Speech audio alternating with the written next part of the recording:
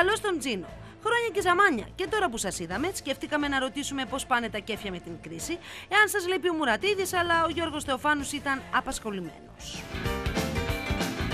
Με το που είδε την κάμερα, έπαιξε το θέατρο του παραλόγου, τη δέχτηκε και καλά ένα σοβαρό τηλεφώνημα.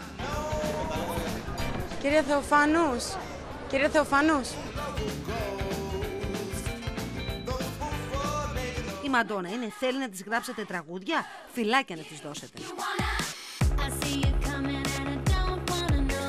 Ο Τζίνο με τα δυο του τα χεράκια απλάθη κουλουράκια. κύριε Θεοφάνους, κύριε Θεοφάνους.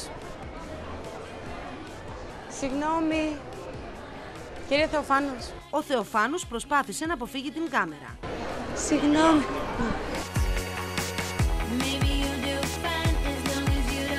Ναι, με τον σουβλατζή της γειτονιάς. Άλλο εάν θέλει να δείξει ότι μιλάει με πρόξενος.